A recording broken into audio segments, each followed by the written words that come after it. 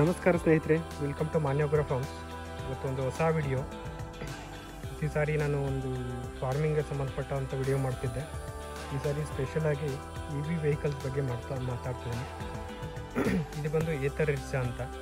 So ಈ scooter ತಗೊಂಡು almost ನನಗೆ ಟೂ ಮಂತ್ಸ್ ಆಗ್ತಾ ಬಂದಿದೆ. ಇದ್ರ ಬಗ್ಗೆ ವಿಡಿಯೋ ಮಾಡ್ತೀನಿ. ಈ ಎಲೆಕ್ಸ್ ಎಲೆಕ್ಟ್ರಿಕ್ ಸ್ಕೂಟರ್ ತಗೊಳ್ಳೋಕ್ಕಿಂತ ಮೊದಲು ತುಂಬ ರಿಸರ್ಚ್ ಮಾಡಿದ್ದೆ. ನನ್ನ ತುಂಬ ಕ್ರೈಟೀರಿಯಸ್ ಕೂಡ ಇತ್ತು. ಸೊ ನನ್ನ ಎಲ್ಲ ಕ್ರೈಟೀರಿಯಸ್ಗಳನ್ನು ಆಲ್ಮೋಸ್ಟ್ ನೈಂಟಿ ಪರ್ಸೆಂಟು ಫುಲ್ಫಿಲ್ ಮಾಡೋ ಈ ವೆಹಿಕಲ್ ಆಗಿತ್ತು. ಆದ್ದರಿಂದ ಈ ವೆಹಿಕಲ್ ತೊಗೊಂಡಿದ್ದೇನೆ. ಸೊ ಫಸ್ಟ್ ಆಫ್ ಆಲ್ ನನ್ನ ಕ ಕ್ರೈಟೀರಿಯಾ ಫಸ್ಟ್ ಕ್ರೈಟೀರಿಯಾ ಏನಂದರೆ ನಮ್ಮ ಮಕ್ಕಳನ್ನು ಸ್ಕೂಲ್ಗೆ ಪಿಕಪ್ಪು ಡ್ರಾಪ್ ಮಾಡಬೇಕು. ನಾರ್ಮಲಾಗಿ ಸ್ಕೂ ಬೈಕಲ್ಲೆಲ್ಲ ಬ್ಯಾಗ್ಸು ಇವೆಲ್ಲ ಇಟ್ಕೊಂಡು ಪಿಕಪ್ಪು ಡ್ರಾಪ್ ಮಾಡೋದು ಭಾರಿ ಕಷ್ಟ. ಸೊ ಆದ್ದರಿಂದ ಇದು ಈ ಸ್ಕೂಟರ್ ನೋಡಿದ್ರೆ ತುಂಬ ದೊಡ್ಡದಿದೆ. ಆರಾಮಾಗಿ ನಾಲ್ಕು ಜನ ಕುತ್ಕೊಳ್ಬೋದು, ಅಷ್ಟು ಲೆಂತ್ ಇದೆ. ಪ್ಲಸ್ಸು ಇಲ್ಲಿ ಸ್ಟೋರೇಜ್ಗೆ ಬ್ಯಾಗ್ಸು ಇಟ್ಕೊಳ್ಳೋಕ್ಕೆ ಮತ್ತು ಡಿಕ್ಕಿ ಕೂಡ ತುಂಬ ದೊಡ್ಡದಾಗಿದೆ.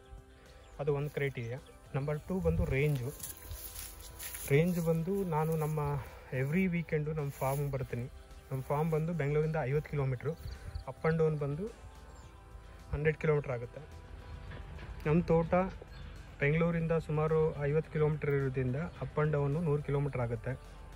ಸೊ ನನಗೆ ಯೂಸೇಜು ತಿಂಗ್, ತಿಂಗಳಿಗೆ ಹೆಚ್ಚು ಕಡಿಮೆ ಪೆಟ್ರೋಲ್ ಕಾಸ್ಟು ಅದು ಹದಿನೈದರಿಂದ ಹದಿನೆಂಟು ಸಾವಿರ ರೂಪಾಯಿ ಬರ್ತಿತ್ತು. ದಟ್ ಇನ್ಕ್ಲೂಡ್ಸ್ ಬೈಕು ಮತ್ತು ಕಾರು ಸೊ ಹೇಗಾದರೂ ಮಾಡಿ ಇದು ಕಾಸ್ಟ್ ರಿಡ್ಯೂಸ್ ಮಾಡಬೇಕು ಅಂತ ರಿಸರ್ಚ್ ಮಾಡಬೇಕಬೇಕಾದ್ರೆ ನನ್ನ ನಾರ್ಮಲಿ ನನ್ನ ಫಾರ್ಮ್ಗೆ ಕಾರ್ ತೊಗೊಂಬಂದು ಹೋದರೆ ಅಪ್ರಾಕ್ಸಿಮೇಟ್ಲಿ ಒಂದು ತೌಸಂಡ್ ರುಪೀಸ್ ಎಕ್ಸ್ಪೆನ್ಸ್ ಬರುತ್ತೆ ಇನ್ಕ್ಲೂಡಿಂಗ್ ಪೆಟ್ರೋಲು ಟೋಲು ಎಲ್ಲ. ಬೈಕಲ್ಲಿ ಬಂದರೆ three fifty to four hundred four fifty rupees ಬರುತ್ತೆ. ಸೊ ಹಾಗಾಗಿ ನಂದು ಪೆಟ್ರೋಲ್ ಎಕ್ಸ್ಪೆನ್ಸಸ್ ನೋಡಿದ್ರೆ monthly fifteen to eighteen thousand ಬರ್ತಾಯಿತ್ತು ಸೊ ನಂದು ಬೈಕು ಕೂಡ ಅವೆಂಜರು ಸುಮಾರು ಒಂದು ಹನ್ನೊಂದು ವರ್ಷ ಆಗಿದೆ ತಗೊಂಡು. ಬೇರೆ ಬೈಕು ತಗೋಬೇಕು ಅಂತ ಯೋಚನೆ ಮಾಡ್ತಿದ್ದೆ. ಪ್ಲಸ್ ರಾಯಲ್ ಎನ್ಫೀಲ್ಡ್ ಕೂಡ ತೊಗೊಂಡೆ.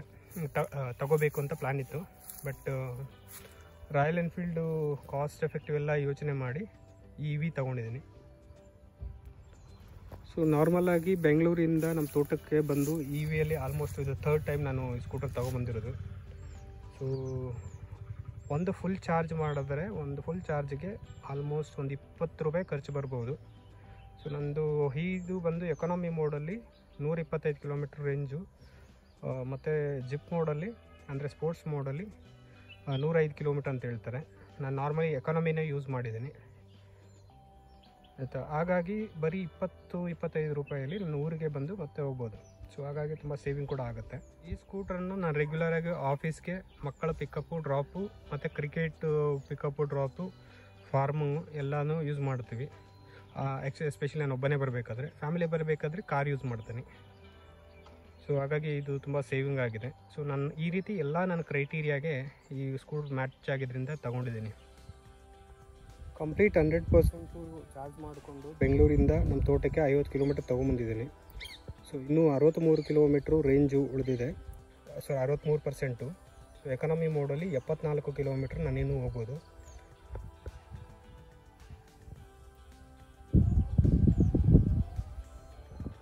ತುಂಬ ಜನ ಇದು ಕಾಸ್ಟ್ ಎಷ್ಟಾಗುತ್ತೆ ಅಂತ ಕೇಳ್ಬೋದು. ಇದು ಟೋಟಲ್ ಬಂದು ಆಂಡ್ರಾಯ್ಡು ಒಂದು ಲಕ್ಷ ಎಪ್ಪತ್ತೈದು ಸಾವಿರ ಅಪ್ರಾಕ್ಸಿಮೇಟು ಆಂಡ್ರಾಯ್ಡ್ ಆಗಿದೆ. ಪ್ಲಸ್ ಎರಡು ಎಕ್ಸ್ಟ್ರಾ ಫಿಟ್ಟಿಂಗ್ ಕೂಡ ಹಾಕಿದ್ದೀನಿ. ಆ ಎಕ್ಸ್ಟ್ರಾ ಫಿಟ್ಟಿಂಗ್ ಏನಪ್ಪ ಅಂದರೆ ನೋಡಿ ಇದು ಫುಟ್ಟು ಇದು ಮತ್ತು ಇದು ಫ್ಲಂಕ್ ಅಂತ ಹೇಳ್ತಾರೆ, ಸ್ಟೋರೇಜ್ಗೋಸ್ಕರ. ಈ ಫ್ಲಂಕು ಎರಡೂ ಸೇರಿ ಸುಮಾರು ನಾಲ್ಕು ಸಾವಿರದ ಐನೂರು ರೂಪಾಯಿ. ಸೊ ಆಲ್ಮೋಸ್ಟ್ ಒಂದು one lakh eighty thousand cost ಅಂತ ಹೇಳ್ಬೋದು. ಈ ಎರಡು ತಿಂಗಳ ನನ್ನ ಎಕ್ಸ್ಪೀರಿಯನ್ಸ್ ಏನಂದರೆ, ಇದರಲ್ಲಿ ಕೆಲವೊಂದು ಪ್ಲಸ್ ಪಾಯಿಂಟ್ ಇದ್ದರೆ ಕೆಲವೊಂದು ನೆಗೆಟಿವ್ ಕೂಡ ಇದೆ. ನೆಗೆಟಿವ್ ಬಂದು ಇದರದ್ದು ಏತರ ರಿಸ್ ರಿಸ್ತಾ ಮಾಡಲ್ ಇದು. ಇದು ಆ್ಯಕ್ಚುಲಿ ಬ್ರೇಕಿಂಗ್ ಸಿಸ್ಟಮ್ ಅಷ್ಟು ಸ್ಟ್ರಾಂಗ್ ಇಲ್ಲ.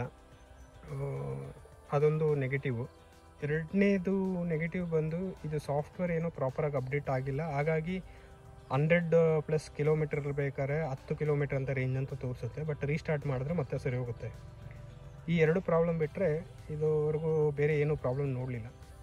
ಈಗ ನೋಡ್ತಿರ್ಬೋದು ಟೋಟಲ್ಲು ಈ ಎರಡು ತಿಂಗಳು ಅಂದರೆ ಹೆಚ್ಚು ಕಡಿಮೆ ಎಕ್ಸಾಕ್ಟ್ಲಿ ಎರಡು ತಿಂಗಳಿಲ್ಲ. ಐವತ್ತು ದಿನಗಳು ಅಂತ ಹೇಳ್ಬೋದು. ಐವತ್ತು ದಿನಗಳಲ್ಲಿ ಸಾವಿರದ ಏಳ್ನೂರ ನಲವತ್ತೊಂಬತ್ತು ಕಿಲೋಮೀಟರ್ ಓಡಿಸಿದ್ದೀನಿ.